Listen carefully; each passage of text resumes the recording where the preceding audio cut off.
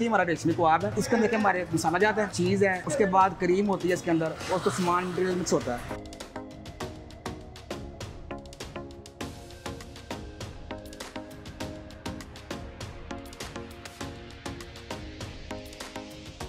नित नए और मज़ेदार खानों की बेहतरीन मालूम के लिए Urdu point food channel subscribe कीजिए और बेल आइकॉन पर क्लिक कीजिए ताकि आप हमारे वीडियोस बर वक्त देख सकें।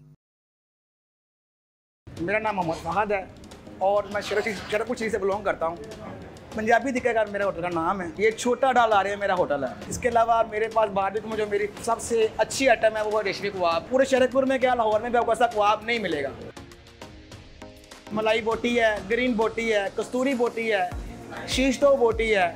उसके बाद सब सिंपल टिक्का है, पीस है। राजस्थानी टिक्का है हमारे पास, लेकिन हमारे पास तकरीबन बारबी बीस से पच्चीस आइटमें हैं।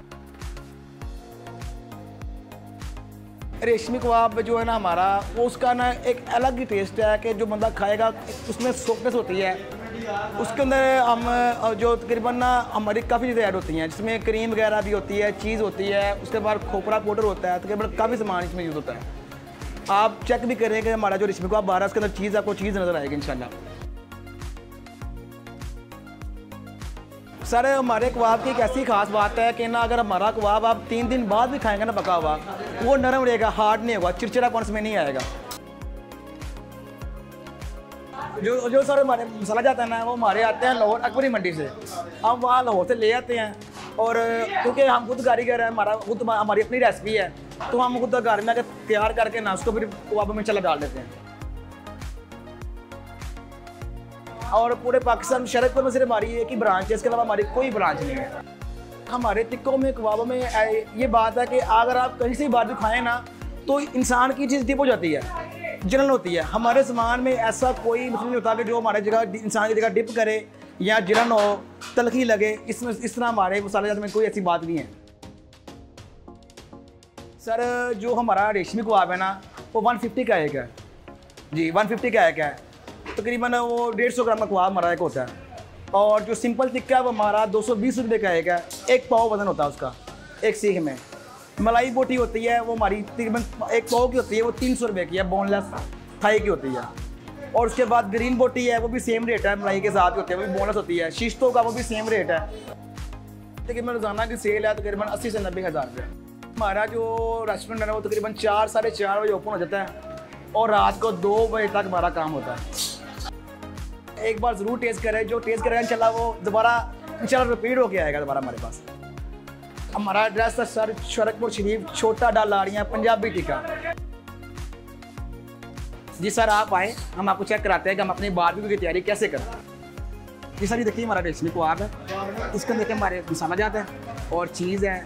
उसके बाद क्रीम होती है इसके अंदर और तो सामान मटीरियल मिक्स होता है। ये कर लें आप। और ये डेली हमारा जो फ़ी कबाब है बदन का पड़ता है। और सर ये देखिए, ये हमारे पास टिक्का है सिंपल टिक्का है। आप कहीं भी जाए ना, आपको टिक्का मिक्स मिलेगा। लेकिन हमारी दुकान पे टिक्का आपको लेग थाई का मिलेगा। हड्डी वाला टिक्का क्योंकि सौ में से ज़्यादा लोग नब्बे लोग हड्डी वाला टिक्का पसंद करते हैं। और हमारी दुकान पर टिक्का हड्डी वाला मिलता है। और चिकन जहाँ से हम लेते हैं, हम ऊपर खड़े होकर डिब्बा करवा के फिर लेते हैं। उसके बगैर हम चिकन नहीं लेते।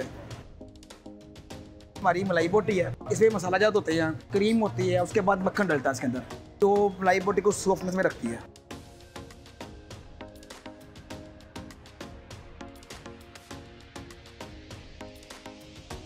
हमारी ये मलाई बूटी तैयार हो रही है। देखिए, बिल्कुल हल्की आँच में तैयार हो रही है। ये तकरीबन पकड़ने में हमारा ये बीस से पच्चीस मिनट लेती है। जितनी हल्की में तैयार होगी, उतना इसका जैका बच्चे निकलता है और ना जलती है। ठीक है, उसके बाद ही हमारा सिंपल टिक्का आ गया। ये भी हमारा बिल्कुल हल्की आँच में पकता है। तो अभी पकने में तकरीबन ये पंद्रह से सोलह मिनट लेता है ये टिक्का। उसके बाद हमारे आगे रेशमी कबाब ये पकने में तकरीबन दस मिनट लेते हैं और ये भी हल्की आँच में तैयार होता है। ये हमारी ना रेशमी कबाब ऊपर लगती है चीज़।